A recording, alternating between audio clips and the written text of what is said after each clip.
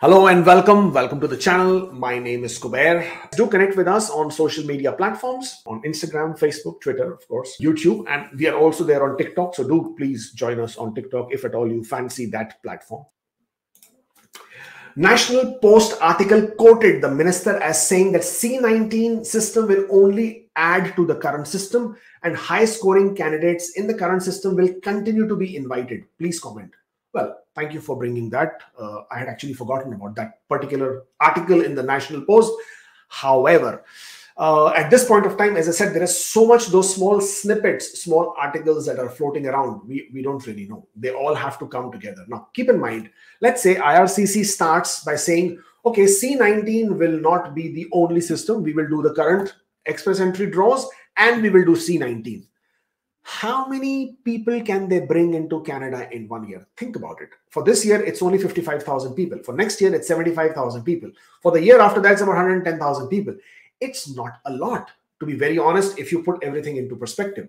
The year before, it was 110,000. Now, they will be doing 110,000 only in 2024. Okay, so just to give you a bit of a context and perspective. So, in this situation, if they try to say, okay, half of this quota, let's say in 20, let's not even talk 2023, let's talk further, 2024.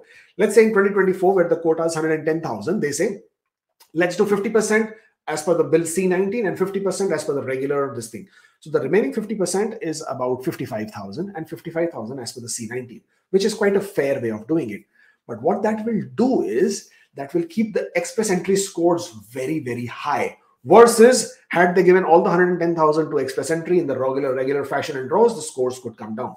So even if they go with all all program generic draws plus C19 by category specific draws, even in that situation, people whose express entry scores are on the lower side, they will really face a problem in terms of uh, you know getting an invitation at the end of the day, does this bill C19? Will the C19 be basically something what IRCC is planning to do in terms of incorporating this new uh, advantage they want to give to the temporary foreign workers and international students? Quite possible. They could say, okay, we are making a category in express entry for people who are international students or who are foreign workers in Canada who have studied in Canada for the within the last three years. If their CRS score is so and so, we will give you invitation. Okay, so now this is a permanent pathway people know that if you come to Canada and you study, you work in Canada, you will have a way, you will have a permanent pathway to become permanent residents. And then the remaining portion of people will say, okay, generic draws, if your CRS score is high enough, you will get invitation. There are 215,000 people in the pool at this point of time. There you go. Look at the numbers. If they're going to do only 55,000 draws in a year and those numbers stay on the high end of things, the you know the scores are going to be very very high. Take a normal profile. Normal profile of an individual for example if you are uh, let's say 29 years old or below you have a master's degree. You have ielts clb 10 not even clb 9 clb 10 you have a three years work experience generic draw. The maximum you can score is 481 without having a without having a sibling in canada or past work. Nothing okay? You have no connection to canada you have a master's degree, age 29 and below, and uh, three years of work experience with CLB 10 English, unmarried, of course. 481 is the maximum you can score. Look at that, 481. Okay. The people who are not able to score C, I mean, as it is scoring the CLB 9 is so difficult. Imagine getting to CLB 10. And if the maximum is 481, then who are all these people with the scores of 481 plus? Okay. So these people with 481 plus who are sitting in the pool, 19,000 people, Canadian experience class, people who have job offers, people who have siblings, people who have a PhD. Uh, these are all those people, or people who have Canadian education, Canadian work experience. These are all those people. Okay. In future, every single year, more and more and more people are also coming into Canada for uh, to study in Canada because they want to add points to their profile. What what's going to happen uh, with them?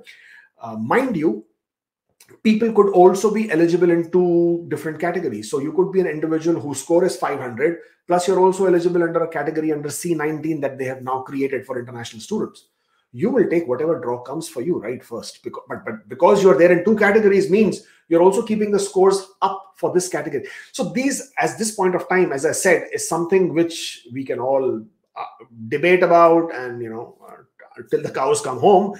But uh, we'll have to just wait and see how they go. National Post says something, CBC says something, House of Commons says something, the parliamentary meeting says something, me says something, we somebody else says something else.